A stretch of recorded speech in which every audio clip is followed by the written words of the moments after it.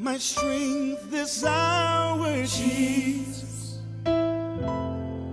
You're my deliverer.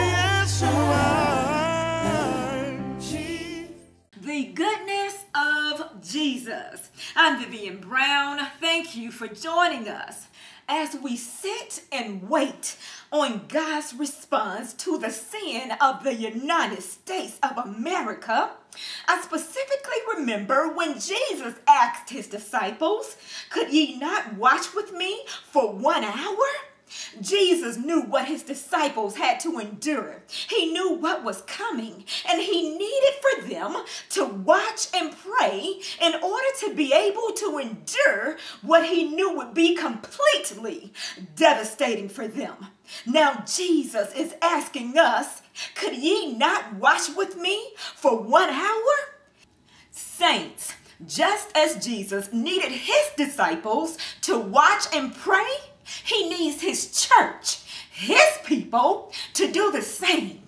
Throughout God's word, he continues to make reference to this. Take a look at 1 Peter 5 8. Be sober minded, be watchful. Your adversary, the devil, prowls around like a roaring lion, seeking someone to devour. Luke 21 36.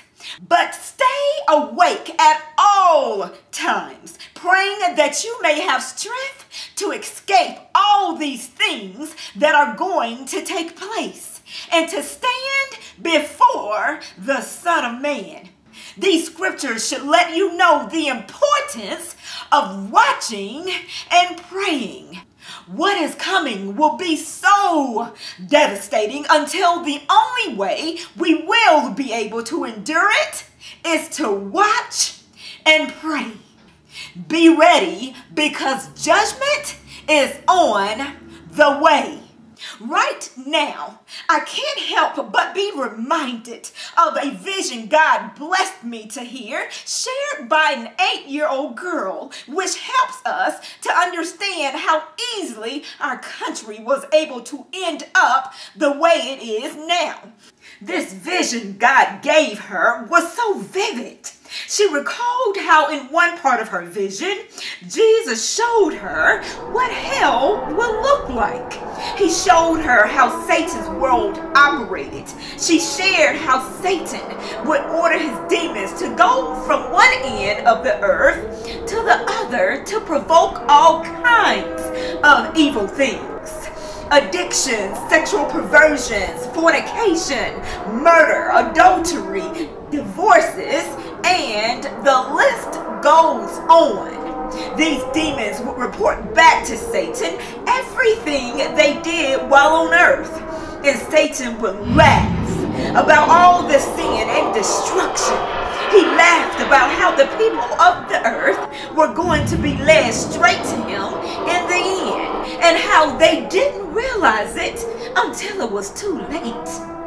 Jesus allowed this little girl to see how many souls would be dropping into hell due to the great deception of Satan and his demons. 2 Corinthians 4 4. In their case, the God of this world has blinded the minds of the unbelievers to keep them from seeing the light of the gospel of the glory of Christ, who is the image of God. Revelations 20 15. And if anyone's name was not found written in the book of life, he was thrown into the lake of fire. There are so many people being deceived right now. Now, I want you to take a moment and think about that vision of this eight year old girl and think about where our country is right now. America is in trouble. What do you do when your nation has turned its back on God? Well, according to Isaiah 55 6, we are to seek ye the Lord while he may be found. Call ye upon him while he is near. Let's take our nation saints to God in prayer. Holy Father, we praise you for who you are. We adore you, for you are good and your mercy endureth forever. Father, we thank you for your goodness. We thank you for every breath you allow us to take to get it right with you before it's too late. For you are good, Father. Make this prayer holy and acceptable in your sight. Father, we approach your throne in great need and in an extreme emergency.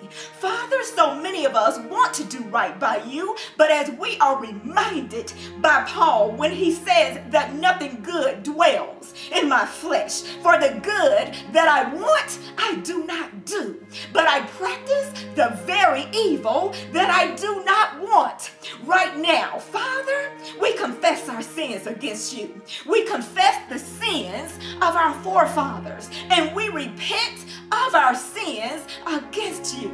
Father, we fully surrender our lives to you. In the mighty name of Jesus, we ask that this prayer breaks through the spiritual realms. We ask that an opening in the spiritual realm is made for this prayer to receive safe passage to you. We ask for your forgiveness, for living in our fleshly desires. Father, for not walking in the spirit, but walking in the flesh, for not consulting you before decisions are made that will affect our lives, for not giving our time and money to further your kingdom, for not spreading your word as Christians to help save those that are lost. For so many souls are on the way to hell. Forgive us for making our faith more about us and less about you, more about our comfort zone and preferences than about you. And forgive us, Father, for all the times we furthered Satan's kingdom with our sins. My God, with our sins, we have welcomed these demons into our country, into our White House, our U.S. Capitol, the highest court in our land, our school systems, our churches, and our homes. If we are honest, we can admit that we have not stood for you, Father, my God, but have fallen for anything. And in doing so, America is in trouble. Please forgive us, Father. Father, right now, we seek your face, for we know that we must turn toward you in order to turn away from our sins. Father, right now, we pray for the United States of America, for she has become a cesspool for demons. Deception is wreaking havoc on our country and this world. Satan has such a stronghold on this country until it seems like she is unable to break free of the sin that binds her. Allow those that have eyes to see that only Jesus is the way, the truth, and the life. Our Lord and darling Savior Jesus. Father, please allow those that have ears to hear your voice and know that your words are coming to pass right now. Father, allow those that have ears to hear the urgency. We are on a pathway straight to hell, and we acknowledge that you are the only one who can save us. Father, we cry out to you right now, for we need you like never before in this country. Father, Satan and his demons right now are celebrating because the United States of America has turned her back on you.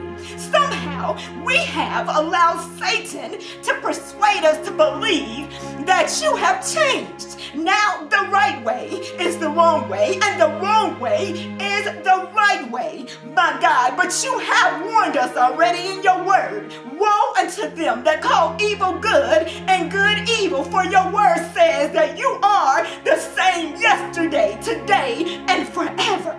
Father, somehow we have allowed Satan to persuade us to believe that the LBGT community is so powerful until instead of us trusting in you, Father, the one true living God, we have given up on you and given in to them, my God. Father, we have allowed Satan to persuade us to believe it is okay to allow the constant bombardment of fornication, adultery, perversion, violence, and profanity into our homes through television and other media outlets. Father, we are to persuade us to believe it's okay to get our little girls used to seeing male body parts in school systems by sharing restrooms and locker rooms. My God. Father, we have allowed Satan to persuade us to look the other way as the United States of America continues to murder over 50 million unborn babies. Babies you knew, Father, before they even entered the womb. The pain you must feel Father, we have allowed Satan to persuade us to believe that it's okay for the United States of America to no longer be represented by you, the one true living God. What are we doing? What have we done? Oh, but wait a minute, God. Your word says that if my people, which are called by my name, shall humble themselves and pray and seek my face and turn from their wicked ways, then I will hear from heaven. I will forgive their sin and I will heal their land. So right now, Father, we come to you in the name of Jesus, specifically asking you to let mercy and grace prevail over us. Pour out a spirit of repentance upon this country. Father, pour out a spirit of true unity amongst your Christians. Father, your word teaches us to call things that be not as though they were. So right now, Father, I declare decree that the atmosphere in the United States of America is filled with the glory of God. I declare that this atmosphere is filled with angels and not demons. This atmosphere is filled with the prayers of the saints and not the prayers of the unrighteous. This atmosphere, Father, is saturated with the prayers of the holy. This atmosphere is set up for blessings and not curses. This atmosphere is set up for a miraculous event and not a cataclysmic event. Glory to your name, Father. Right now, we put on the full armor of God for spiritual warfare. In the mighty name of Jesus, we disconnect the cords that are binding us in spiritual strongholds, witchcraft, addictions, seductions, traditions, and misfortunes. Father, we speak victory over satanic illusions, demonic possessions, spiritual strongholds, addictions, seductions, oppressions, depressions, and misfortunes. We speak victory over spiritual wickedness in high places. We speak the victory over satanic spirits wreaking havoc over this country, the United States of America. We speak victory in the name of Jesus over the spirit of sexual perversion, lust, homosexuality, bisexuality, bestiality, adultery, pornography, prostitution. This environment is no longer conducive for the gathering of demonic spirits wreaking havoc in our school systems, our government, our families. These demonic spirits are no longer successfully attached to our lives, school systems, our families, our marriages, our children. I declare and decree right now in the mighty name of Jesus that churches in the United States and abroad will have a spirit of boldness. Your people will grasp the power of true unity around one common holy purpose of the kingdom of God. We will rise like never before in your name with a spirit of boldness, not a spirit of fear at a time such as this. We will walk with boldness, boldness, move with boldness, minister with boldness, go into spiritual warfare with boldness. We shall not be broken, intimidated, suppressed, distressed, unproductive, indecisive, undetermined.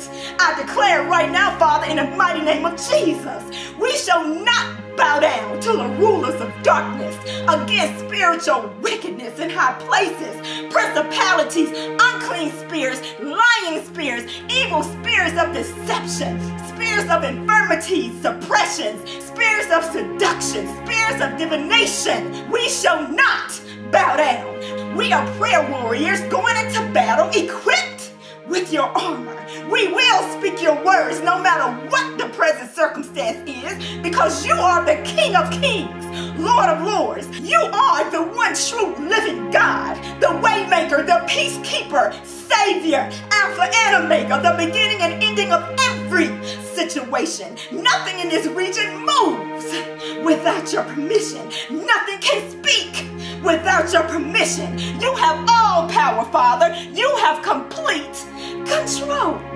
Right now, we speak over the sins of the United States of America, for she is so saturated with so much sin, Father. So we call on the mighty name of Jesus. We plead the blood of Jesus over the sins of this country. We plead the blood of Jesus over greed, fornication, adultery, stealing, homosexuality, lust, murder, envy, fear, fighting, bitterness, unforgiveness, pride, racism, uncompassion, hatred. Father, you know the list. I thank you, Father, for those that fall under the sound of my voice, for their lives will never be the same. Have your way in their lives, Father. Remove any and all doubt of your presence right now. For your Son, Jesus, cannot be denied in their life. Your Holy Ghost cannot be contained in their life. And your will, Father, cannot be suppressed in their life. Move, move, move your spirit right now, Father, in the mighty name of Jesus, over the highest mountain in the United States of America, through the lowest valley, across the widest sea, along the East Coast, the West Coast, and the Gulf Coast, around the biggest cities LA, Chicago, New York, Atlanta, Miami, Dallas, San Francisco, Father. Move, move, move your spirit through every city, through every town, through every county in the United States of America. Move your spirit beside the still waters of the lakes, the rushing waters of the rivers. Allow your spirit to flow through the boldness of the White House, the disputes in the U.S. Capitol the dishonorable rulings of the Supreme Court. Move your spirit, Father, amongst the school systems, inside the churches, and into every household across the United States of America. Move your spirit, Father, despite of what we deserve. Lead us not into temptation, but deliver us from all evil. Thy is the kingdom, power, and the glory forever.